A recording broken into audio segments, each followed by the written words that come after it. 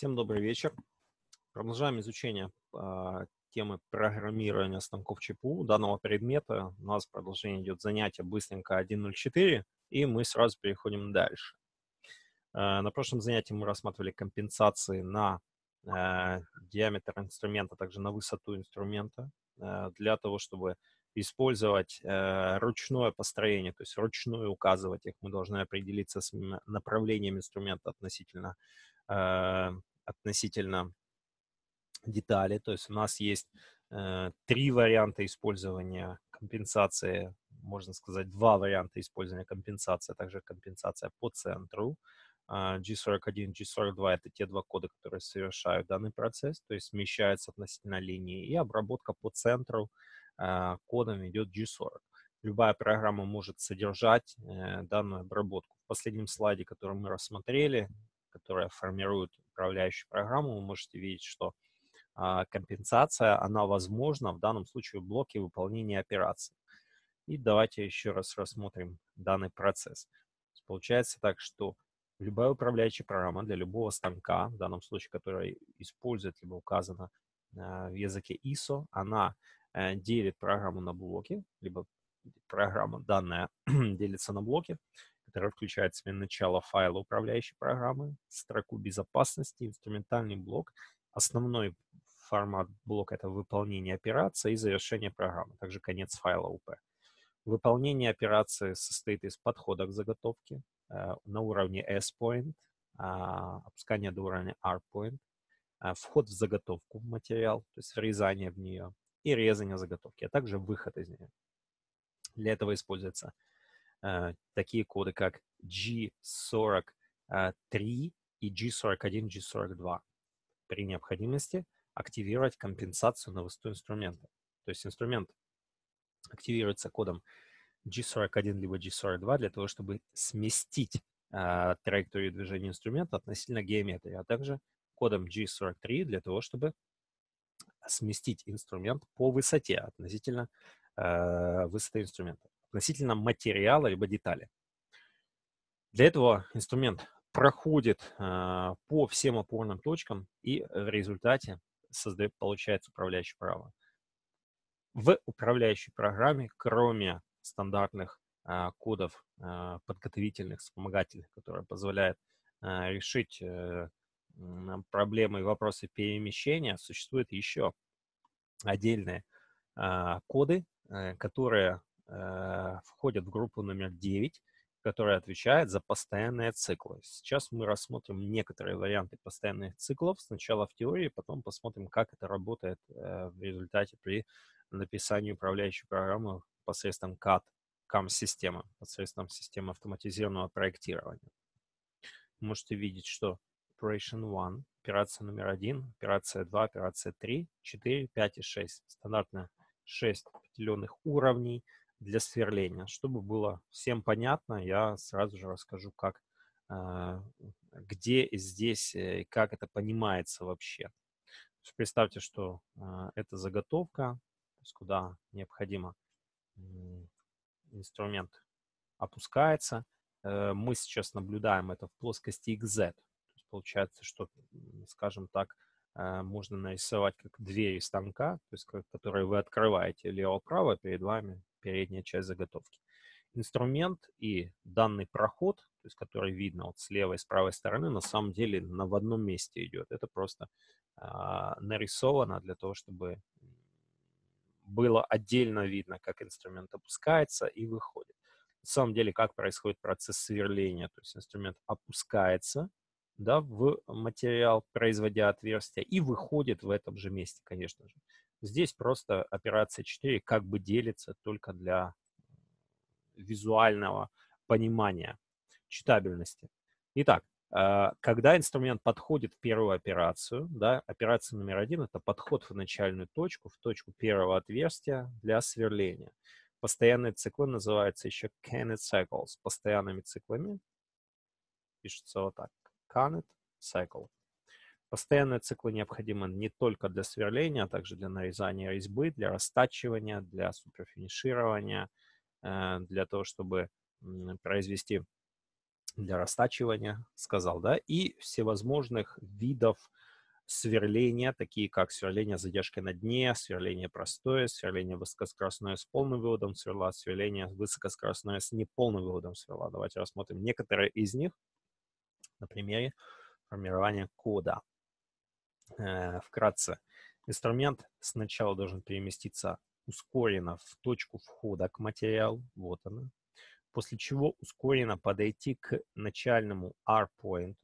R-point — это такая визуальная, такое визуальное расстояние от нуля, э, от S-point до R-point, да, либо от R-point до дна материала, которое обычно указывается для безопасности, чтобы э, инструмент мог переходить э, между э, необходимыми отверстиями, да, которые может быть вот здесь, здесь, в какой-то безопасной зоне. То есть если мы имеем какие-то крепления, либо контрольно-измерительные инструменты, которые могут быть немного выше этой зоны, получается инструмент, который перемещается между ними, может просто задеть их.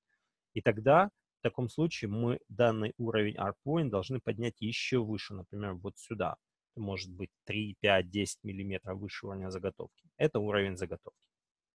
Получается, что в таком случае инструмент, который сейчас находится здесь, сначала ускоренно перемещается в одну точку, потом ускоренно перемещается в точку ARPoint. Потом происходит врезание.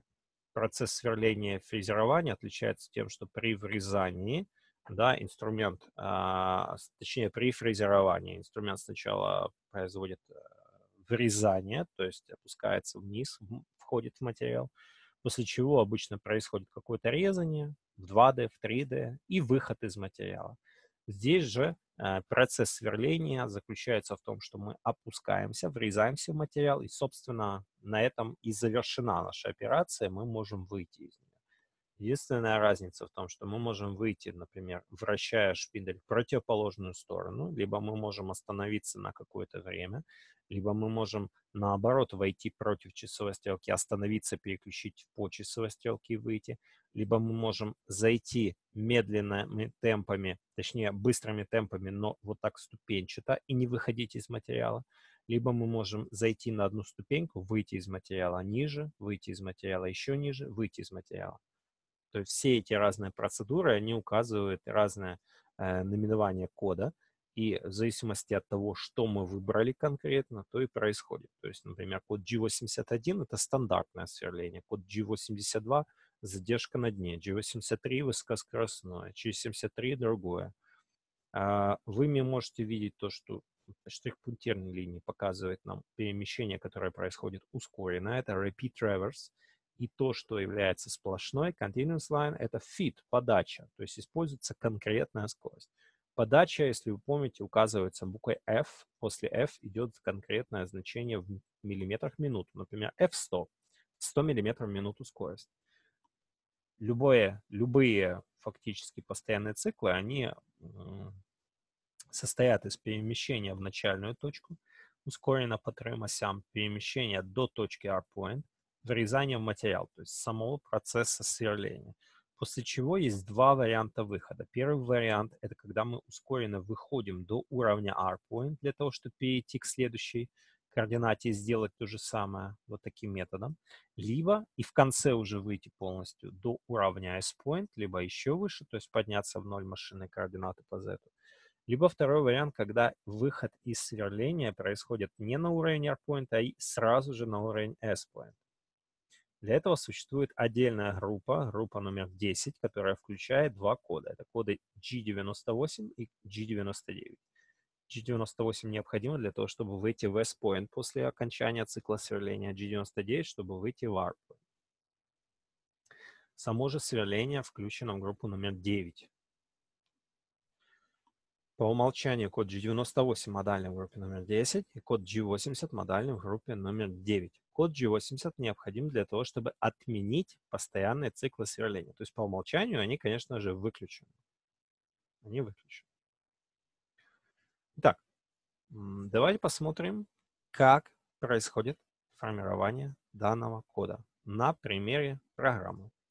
Я возьму ближайшую программу, которую мы будем рассматривать на занятиях по инженерной графике. Очень скоро данный предмет у нас будет в одной из групп. А, это достаточно простая и легкая программа SharpCam, гибридная CAD-CAM-система.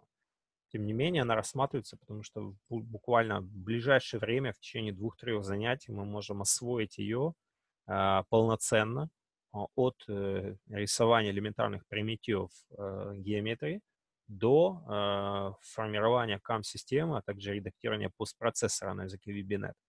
То есть такая программа позволит полноценно понять, как вообще работает SAPRO-система и э, уже самостоятельно при необходимости ознакомиться и э, получить э, практические навыки, работая в других системах. Таких программ около 50 серьезных, ну и станков около 200 производителей, достаточно серьезных. Очень-очень крупных производителей, десятки, но достаточно такие серьезные производители, которые тоже имеют крупные металлообрабатывающие цеха и ресурсы, импортируют во все континенты свое оборудование, их тоже, в принципе, они измеряются десятками десятков, поэтому э, изучать нужно много чего. Итак, давайте посмотрим кое-что. Сначала сформирую вот такой как бы материал, это 100 на 100 миллиметров, а в нем я сделаю отверстие. А, отверстие радиусом, например, 7 миллиметров. Указываю а, их в центре. Давайте сделаем, например, один в центре. Вот, это было лишнее. Второе сделаем а, в координате 20-20. Третье в координате 80-80.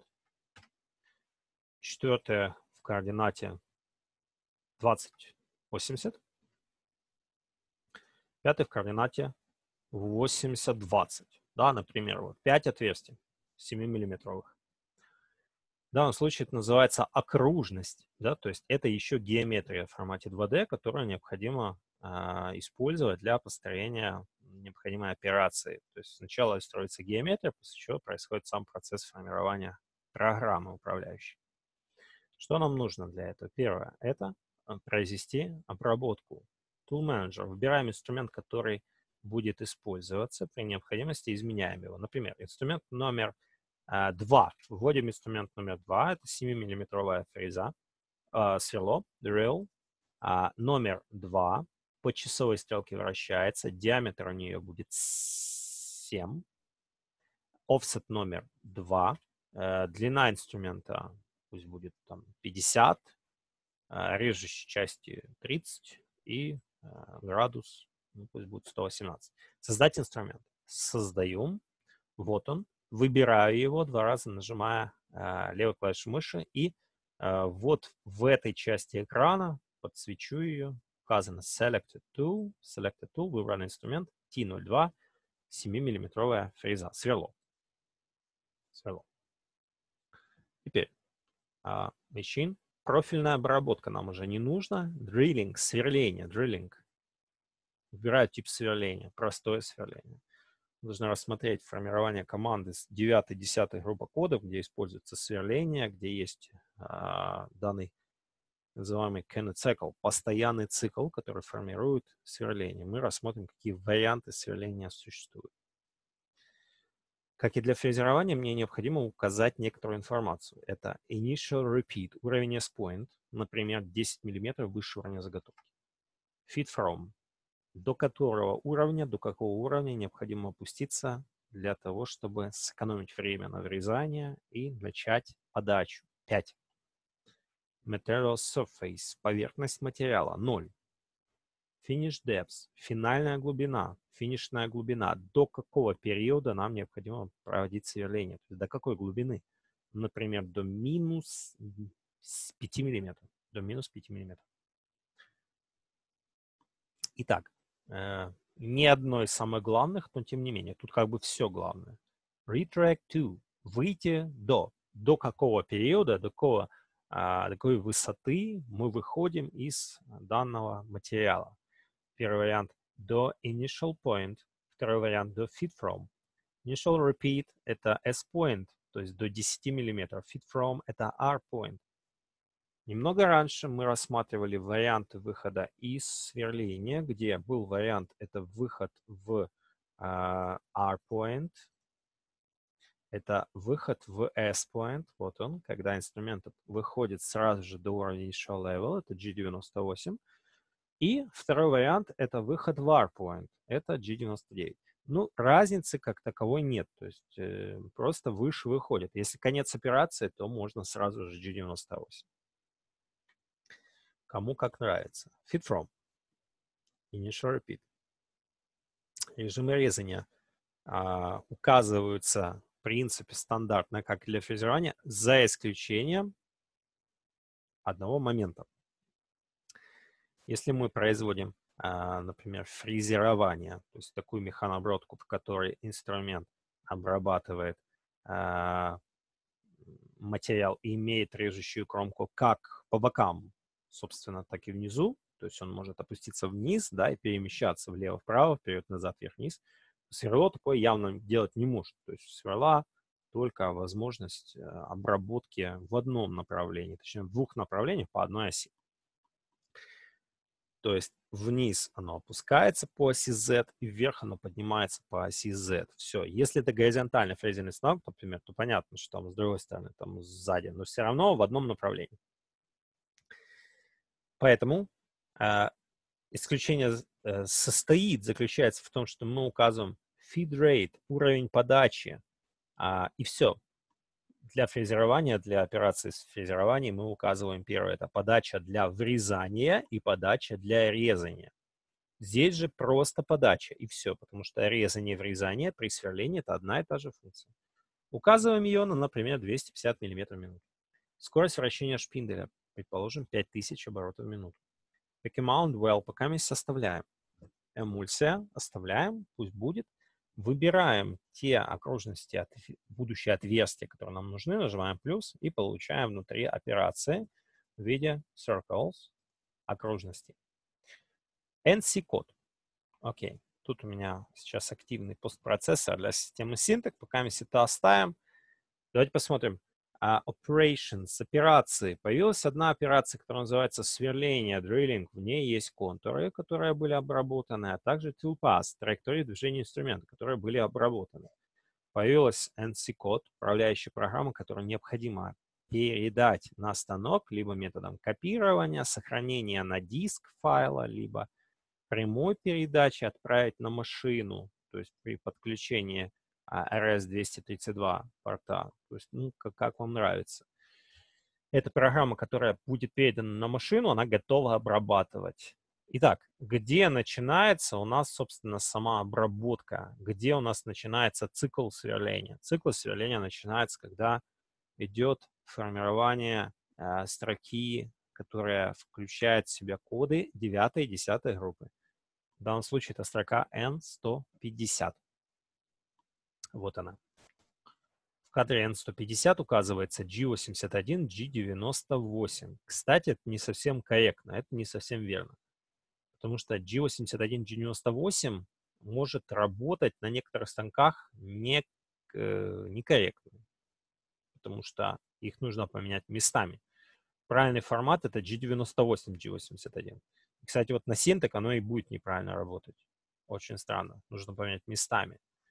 То есть сначала должно быть G98, потом должно быть G81. Но это делается очень легко с помощью э, редактирования постпроцессора, э, в котором нужно открыть э, данный процесс формирования отверстий, э, перейти к нему, то есть найти именно, где указывается вот в этой программе, где именно указывается э, это, это действие, то есть, когда оно начинается, например, вот G81 пишется у нас в начале, потом идет, видимо, G98 чуть-чуть дальше, и нужно поменять их местами.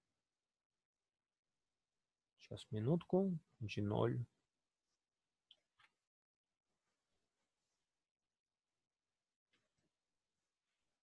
Это не здесь, значит, ниже. G81. Я только посмотрю, где это. G81.